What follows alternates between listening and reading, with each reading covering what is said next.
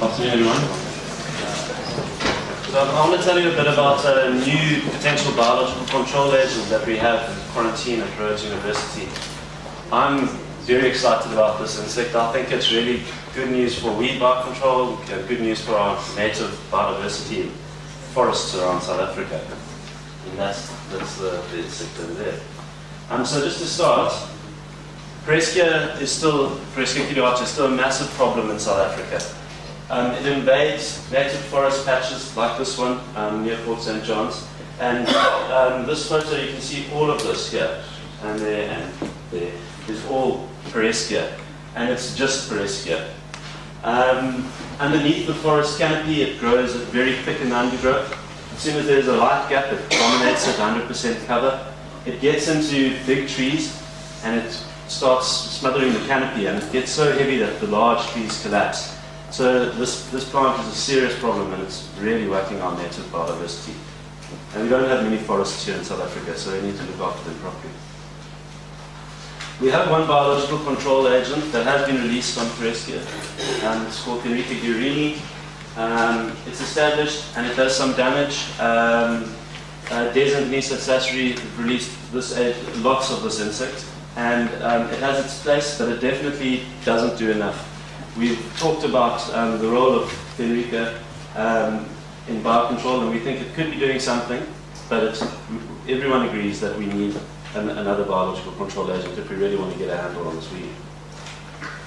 So, on surveys in southern Brazil, um, we had a few options. Um, there are nine species that I considered promising, and um, four of those we found are insufficiently specific uh, from uh, hosts, uh, looking at other host plants in the field in Brazil, and from checking on uh, museum specimens what host plants they were found on.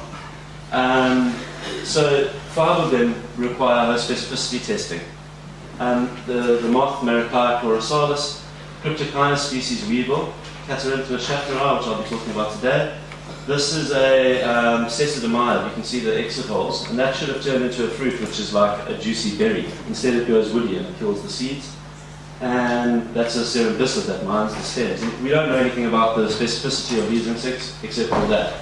And this, the subject of this talk is my host specificity trials on the insect. And I think that you'll all be convinced that it's host specific and that we can release it. Or that I can write up a release application and ask for. Um, so this is the insect, Catorhintha schaffneri. It's a stem wilter or splitter. Um, it is quite a damaging insect. That's a shoot of Pereskia. Those are the, the nymphs, they're gregarious and they feed on the shoot tips. And that's an example of stem wilting, and that's an example of stem splitting. You can see that it's actually cracked open the stem, and on the far side the stem's cracked open. So there are no host records for this species. Um, but the distribution that we've got from museum specimens matches the distribution of Pereskia aculeata in South America, which is a very good sign. Um, and so we've continued with our specificity testing, and that's our tiny little quarantine facility where it's all happened. Um, within the Cactaceae, I've tested these um, plants, Pereskia aculeata, obviously the control. Pereskia grandifolia is a closely related species in the same clade as Pereskia aculeata and also a congenant. Um, Pereskia is a more distantly related um, species within the genus. And then Hylocereus and Rhipsalis are primitive um, cactaceae that are, are, closely related to Pereskia. And then I've, I've tested Opuntia, retiaca, and Ficus indica. The important one here is really Rhipsalis baccifera because that's the one cactaceae that we consider native here in South Africa. And that's a photo of Rhipsalis baccifera. So on Pereskia, um, we the, the, insects take about 23 days to get from hatching to adults. What I do is I collect the eggs, that's a little egg packet, and I keep them in a petri dish. So the day that the eggs came out, I would put 10 um, nymphs onto Pereskia as a control or then onto my, my test plant. Um, so I'll get 80% or, or, more survival. Um, from, from the, the, the day they hatch all the way through to adults, and it takes 23 days. And I've replicated that 10 times. On the closely related Pereskia grandifolius, this is the one that's in the same clade as Pereskia aculeata. Um, I need to stress that this is not a native plant, it's actually declared weed in South Africa. Um, I got 96% mortality before the adult stage, um, so I only got three adults out of all of my, my 10 reps. And um, they take 33 days to get to the adult stage. So this is on the closest, the most closely related plant, getting much higher mortality, and um, they take longer to get to the adult stage. On Pereskia cusciniana, um, again, this is non-native. I've had um, absolutely no development, 100% mortality before the adult stage. And um, on Pereskia cusciniana, the mortality is within the first few days of them being on the plant, and they all die in the first instar.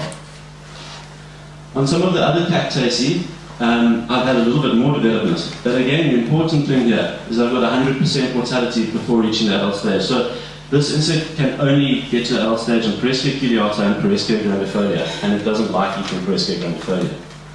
Um, so on these other cactaceae, including the native Rhipsalis baccifera, we got about 5% survival to the fourth instar. Um, and the interesting thing that happens here is that uh, we only get any survival if we've got really, this is a jointed cactus, Opuntia aurantiaca, and th that really green, juicy shoot is what keeps them going. And it means that a tiny percentage of them manage to get to the fourth instar.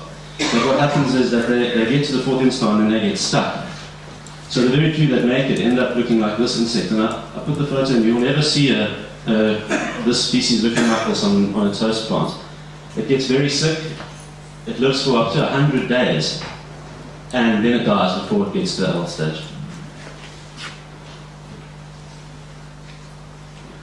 Um, so the closely related families to the Cactaceae are the Portulacaceae and the Basellaceae.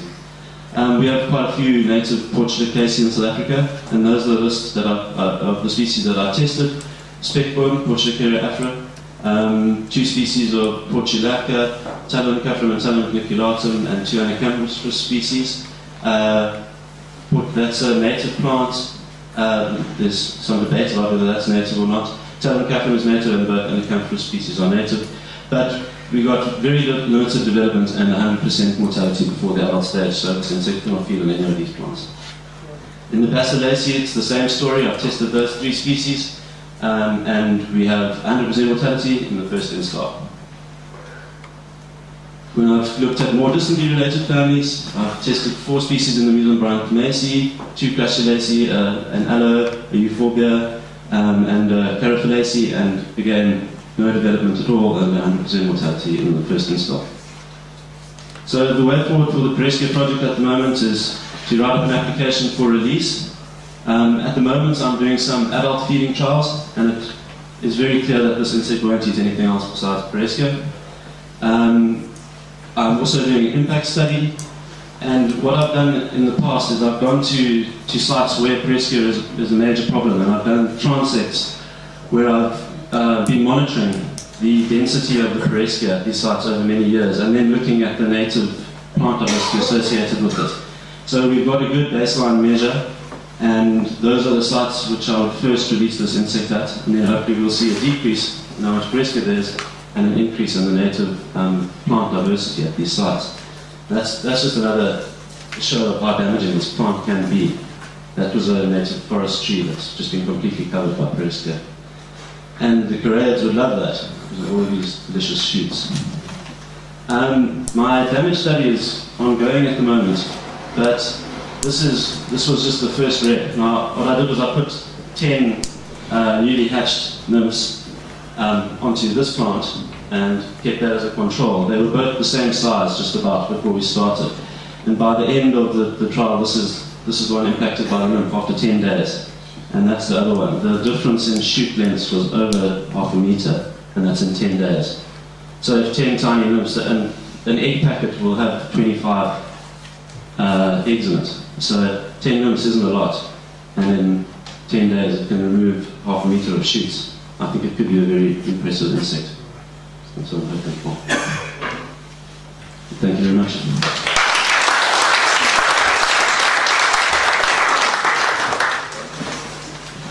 Thanks, Iain. Any questions for Iain? Okay, thank you very much. Oh, have we got one?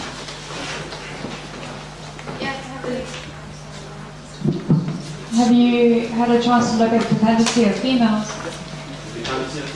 Uh, no, not specifically, it's, they, they make a lot of eggs. They have a, a they have a periodic position period of about, uh, after they've got to the adult stage, they spend a week eating and then they start laying lots of eggs. It's extremely easy to rear, it's like a plague in quarantine.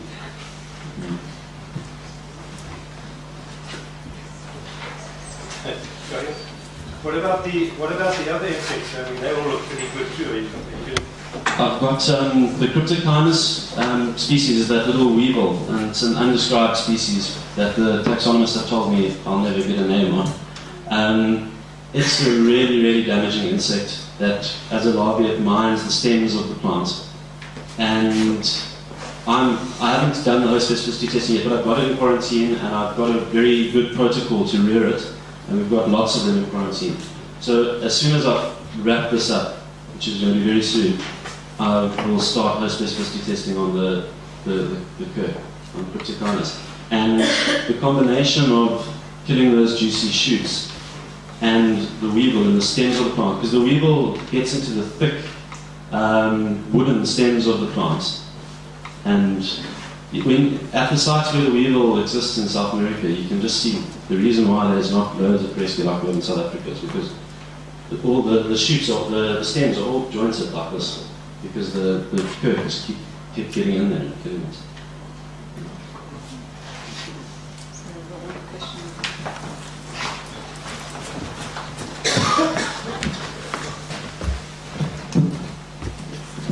Thanks, thanks Iain for a very insightful talk.